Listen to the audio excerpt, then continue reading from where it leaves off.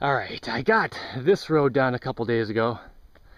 Ah, ignore my orange fingernails. Anyway, it's getting kind of high and hard to reach up here. And like a month and a half ago, I ordered some wood from a guy over there. He hasn't come through yet. And I asked another guy to bring wood like a last week. And uh, he's trying to change the kind of wood on me. So it's probably not going to be here for at least a few more days. But right now I want to see if I can figure out how to get up there even without putting the second floor in in not too dangerous of a way so I can continue doing the concrete. Yeah, not too dangerous of a way. That's the trick. Because now I have kids. I can't just risk my life and die because I have kids who rely on me, which is also why I have orange fingernails. Uh, so I, I, you know, I have to be safer than I used to be. Hmm. See, if I could get the floor in here, it'd be no problem because I could put something up on top of the floor and then reach up higher, no problem. But right now, you know, this is almost at my shoulder height, so putting the thing up is going to be over my head and have to dump the stuff in there and reach around.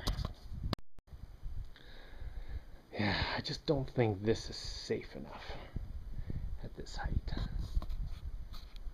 So the, the original wood I was going to get was cedro, cedro, uh, which is kind of like cedar. But the one guy who can bring the wood soon, who I asked last week, he said he has laurel now. And I think laurel is fine for the floor. It's actually lighter, still pretty strong, but I need to check with someone to make sure. One, that it's good for a floor. Two, that it's, you know, fairly termite resistant. I know the floor is like eight feet off the ground, but I still don't want it to be, you know, like a big candy bar for the termites to crawl up and get. And uh, I also need to check if laurel should be cheaper than cedar, cedro. So I might need to change the price on the guy too. So I guess I should kayak over to my friend's house and inquire. I do have sufficient Spanish to ask these questions too.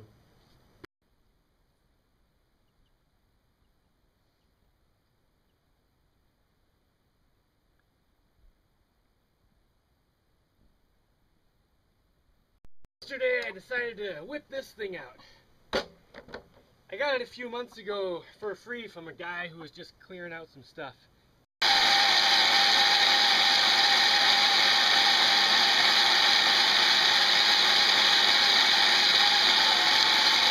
So, if these other guys don't come through with the wood, maybe I'll just start cutting my own.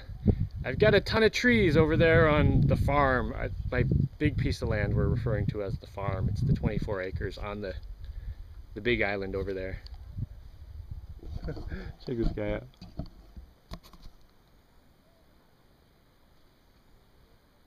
Paddling down the canal, singing a song.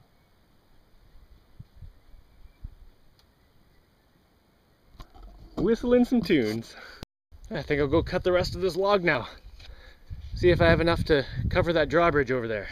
Oh, and I just received report.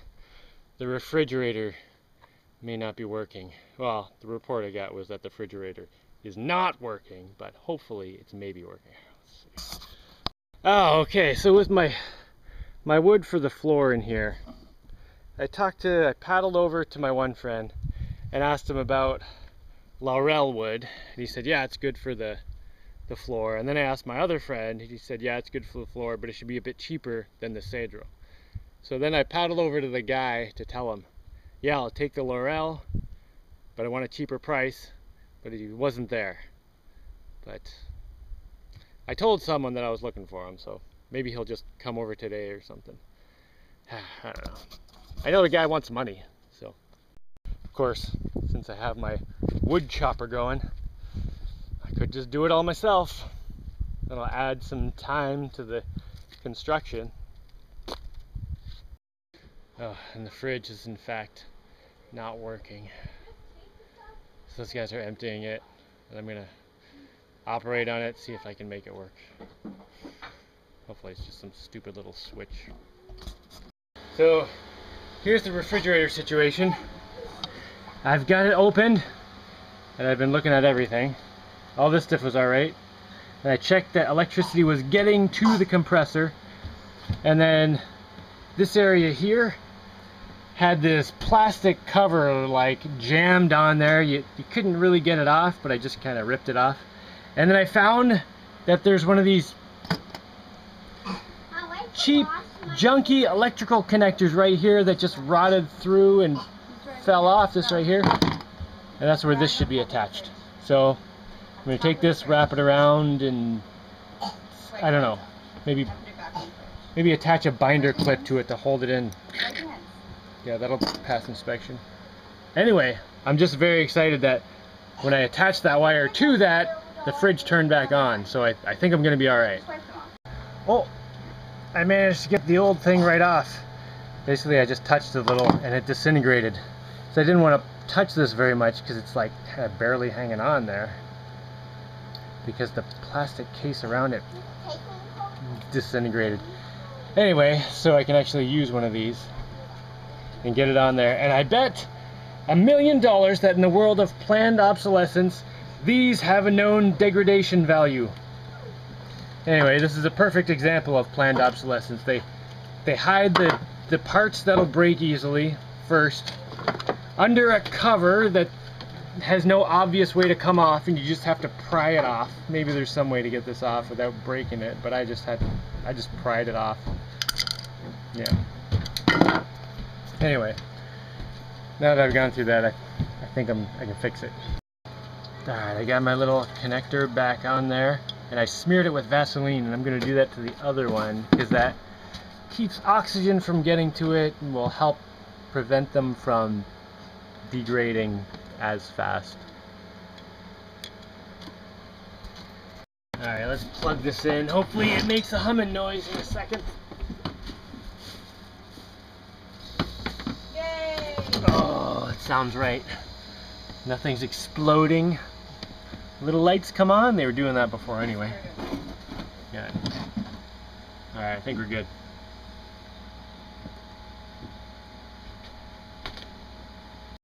Okay. Now, nothing else break.